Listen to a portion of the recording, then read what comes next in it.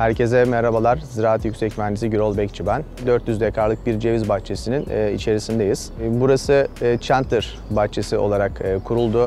7'ye 5 diktiğimiz bir bahçe. 2016 yılında kurumuna başladık.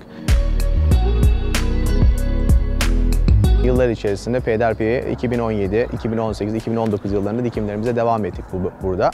Şu anda da ilk dik, dikim yaptığımız e, parselin içerisindeyiz. Burada bu dönemde Mart ayı içerisinde e, budamamızı gerçekleştiriyoruz. Tabii sezon artık yavaş yavaş e, açılmaya başladı. Budama ile birlikte başlıyoruz. E, Daha sonrasında budamanın akabi- akabinde e, bordo bulamacı ya da gülleci bulamacı e, uygulamalarımızı yapacağız. Daha sonra da yeni yılın sulama e, sistemleri hazırlıklarıyla birlikte devam edeceğiz.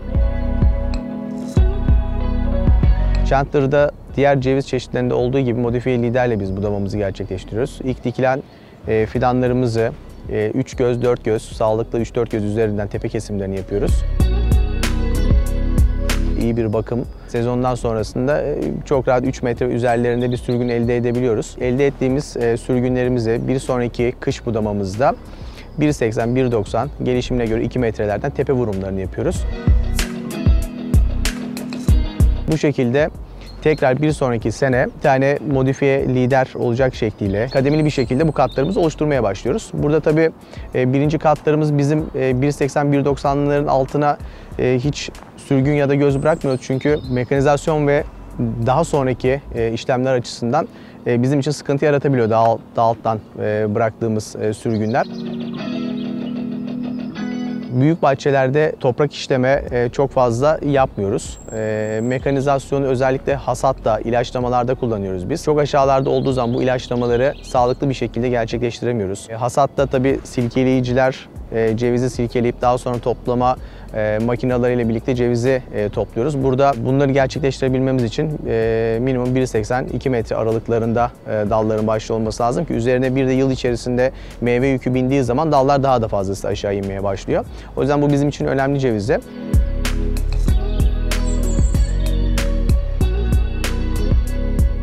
Her katta minimum 5-6 e, yan dal oluşturuyoruz. Her kat arasında minimum 50-60 santimlik gibi bir e, mesafe bırakıyoruz. Hem birbirlerine çok fazla geçmemeleri açısından hem daha iyi güneşlenmeleri, daha iyi ışık almaları açısından hem de zirai ilaç uyguladığımızda e, bu ilaçların ağacın bütününe, totaline, gövdesine iyi bir şekilde nüfus etmesi için biz bunları kademeli bir şekilde ikinci, üçüncü katları yıllar içerisinde oluşturmaya başlıyoruz. E, tabii çok fazla uçalımı yapmamaya çalışıyoruz. Yine ağaca göre değişiyor e, buradaki bu uçalımlarımız ama, ama genelde biz birinci katı oluşturduysak bundan sonrasında birinci katın üzerine ikinci katı oluştururken ikinci katta bir miktar uçalım yapıyoruz. Kademeli bir şekilde devam ediyor. İyi bir sulama, iyi bir gübreleme programlarıyla çok iyi bir şekilde sürgünlerimizi büyütüp aynı zamanda meyve de alabiliyoruz.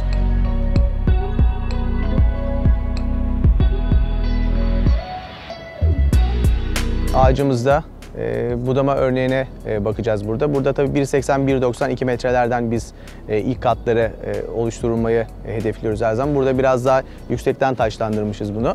E, burada yine bir tane liderimizi seçip 3 tane ya da 4 tane oluşturabiliyorsak eğer birinci kat ana dallarımızı e, alacağız. E, burada rüzgar yine aynı şekilde bu taraftan esiyor.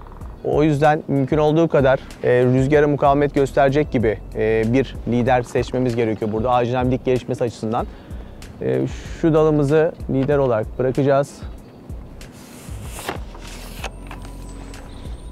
Liderimizin yine rüzgara bakan tarafından tepe vurumunu yapacağız.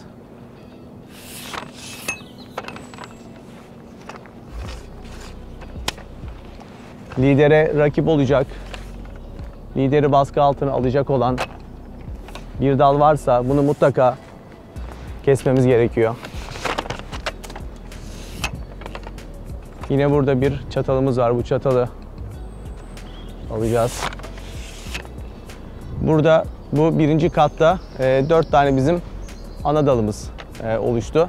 Burada birbiri arasına geçecek, birbirini engelleyecek olan dallar varsa özellikle bunları e, kestik. E, burada yine aynı şekilde ağacın kuvvetine, güçlüğüne göre iyi bir sulama gübreleme programıyla eğer biz bu e, yan dalları hem besleyebilecek hem de meyve gözleri oluşturabileceksek eğer e, çok fazla uç alımı yapmıyoruz. Burada da yine birinci katta tabii burada çatallaşmalar var. Bu çatallaşmaları e, istemiyoruz biz. Bunları da yine aynı şekilde uçlarını alacağız. Burada geçen seneden bir tırnak kalmış.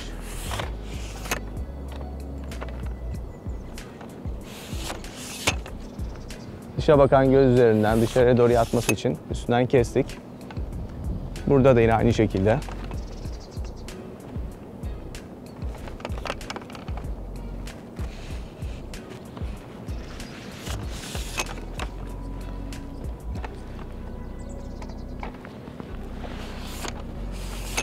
Dışa bakan göz üzerinden yine burada uç vurumunu yaptık. Evet bu şekilde bu davamı tamamlamış olduk.